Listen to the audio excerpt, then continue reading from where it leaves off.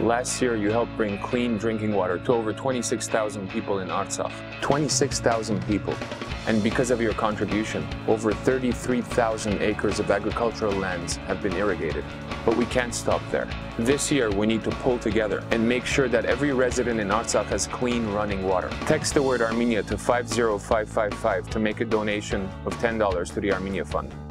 Together, we can make this happen, and only you can make that difference.